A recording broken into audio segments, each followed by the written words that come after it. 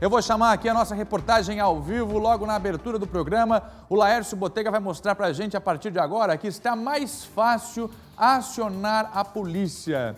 Porque quem precisa de atendimento da PM para registrar uma ocorrência vai poder fazer isso, viu, Laércio Botega? Através desse aplicativo que está aí, atrás de você.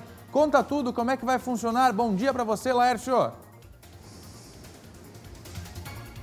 Bom dia, Fernando. Bom dia a todos que estão acompanhando o SBT Meio-Dia. Exatamente. É a Polícia Militar, literalmente no bolso, o acesso rápido para o cidadão. Já tem mais de 10 mil downloads. O aplicativo foi lançado nesta manhã aqui no comando da Polícia Militar de Santa Catarina. E você de casa que está acompanhando o SBT Meio-Dia, pega o seu celular agora e baixa o seu aplicativo, ok? Eu vou explicar para você. Você entra agora no seu celular vai lá, vai no seu Play Store e digita PMSC Cidadão. Digita lá, PMSC Cidadão, tá vendo lá o íconezinho lá? Ó? Entrou, clicou, baixa o aplicativo e você vai abrir. Ele vai ter todas as opções ali. Essa é a tela inicial dele, tem o botão de emergência, proteção à mulher, rede de vizinhos, segurança escolar, enfim. Só quem vai explicar isso para a gente é o comandante-geral da Polícia Militar de Santa Catarina, Araújo Gomes. Seja bem-vindo no SBT Meio Dia, comandante muitos downloads, um aplicativo importante para o cidadão poder ter um contato direto com a polícia militar. É isso? Bom dia. Com certeza, o aplicativo ele representa um novo patamar de relacionamento com a sociedade, ele traz inovação e tecnologia para esse contato emergencial que era só do 190 e com certeza essa parceria que houve entre a Polícia Militar e o Ministério Público para o desenvolvimento dessa ferramenta vai trazer muita qualidade para o nosso atendimento. Ele tem várias funcionalidades ali, né? Tem proteção contra a mulher, tem rede de vizinhos. Isso, ele, ele é lançado com um potencial de várias funcionalidades. Nesse momento, ela está, ele está com duas funcionalidades ativadas o cidadão comum chamar a polícia numa situação de emergência, que é esse botão de emergência que aparece no alto do aplicativo, e o botão de pânico para as mulheres que têm a medida protetiva decretada pelo judiciário. Nesse caso, elas não vão pelo caminho comum. A tela delas já abre num botão de pânico e quando elas acionam, essa informação vai em caráter prioritário já com endereço, nome, medida protetiva e recebe prioridade para o envio de patrulhas é uma forma mais ágil para o cidadão. Por exemplo, a mulher, às vezes na confusão lá, demora a digitar, fica nervosa, no aplicativo apertou o botão. Exatamente, no botão de pânico, que é destinado às mulheres vítimas de violência, que tem medidas protetivas, basta dois toques no aplicativo para acionar a viatura. Para o cidadão comum, ele aciona o botão de emergência, responde quatro perguntas de assinalar que dão o grau de risco da ocorrência e podem anexar fotos, vídeos e áudios que serão enviados à central e de lá para a patrulha que vai fazer o atendimento. Então o policial já chega no local com a certeza de quem chamou, porque o sistema controla isso, e com imagens e informações em primeira mão do cidadão, inclusive por um chat que vai permitir que o cidadão converse com a central de emergência. Vamos, vamos dar uma olhada ali, ó. Vamos dar uma olhada ali ó, na, na, questão ali do, da mulher, por exemplo. Tem um mapa certinho ali, tem as informações ali, ó, para preencher ali e chamar a mulher. Eu vou chamar aqui a Giane Belo, que é presidente, presidente, da, comissão, presidente da Comissão dos Direitos da Vítima da OABSC. Jane, a gente estava falando sobre essa questão do botão para a mulher ali, né?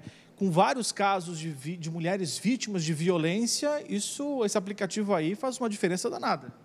Sim, a diferença é muito grande. A diferença muitas vezes pode representar é, entre a vida e a morte por causa do tempo e também da localização. Porque é, muitas vezes, na hora de acionar via telefone, a vítima tem que, tem que explicar o que está acontecendo. Nem sempre ela consegue, ela tem condições de explicar o que acontece, o agressor muitas vezes não permite. E, através desse aplicativo, ela vai apertar um botão, acionar um botão e se, porventura, esse acionamento for interrompido pelo agressor, ainda assim a Polícia Militar já identificou esse chamamento e vai deslocar uma viatura. Então, ela não precisa falar mais nada, ela vai receber esse atendimento. Então, a diferença é muito grande, ela não precisa se explicar. E ah, o que eu ia mencionar era a localização dela, porque a partir do momento que ela faz essa chamada, a Polícia Militar já sabe onde ela está.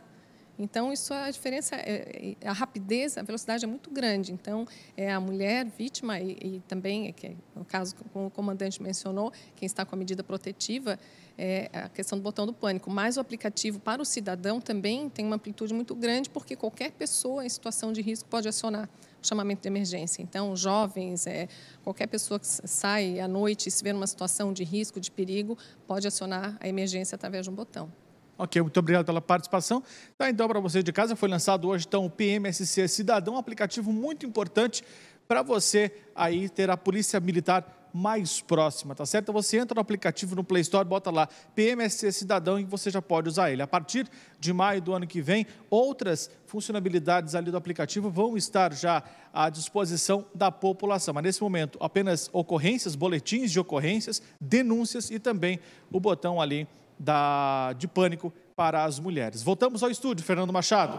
Muito bom, Laércio Botega, está ao vivo no Comando Geral da Polícia Militar. Daqui a pouco você volta. O Hélio também está com a gente. Bom dia. Bom Hélio dia. Costa. Fazer o seguinte, o Laércio deu a dica. Vamos baixar aqui rapidinho, ó. Já estou aqui com o meu celular.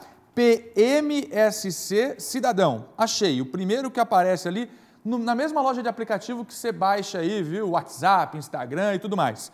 Baixar. Vamos lá. Cidadão. PMSC Cidadão e você vai poder agora registrar boletim de ocorrência, vai poder o botão do pânico. O que, que você achou dessa novidade, hein, Hélio? Olha, para mim não é novidade, né? Porque a nossa Polícia Militar está sempre lançando algo novo.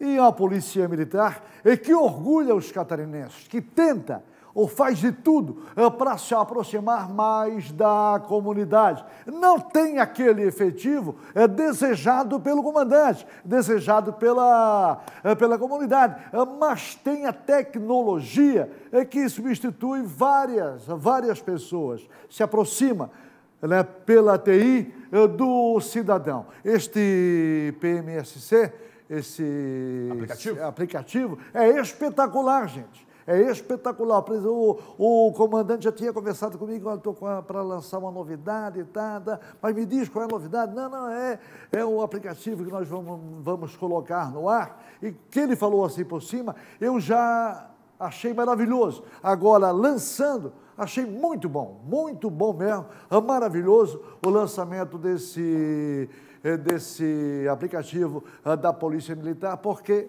vai estar próximo, né? Do cidadão, junto com o cidadão. Pronto, enquanto o Hélio comentava, o meu aplicativo já baixou, já estou com ele aqui, ó, faça o mesmo no seu celular. Registre de boletim de ocorrência, atenção às mulheres, isso, ó, permitir. Agora sim, as mulheres, botão de pânico, acionou por aqui, a polícia já tem a localização, a viatura já vai direto pelo GPS. Tecnologia agora ajudando também na segurança.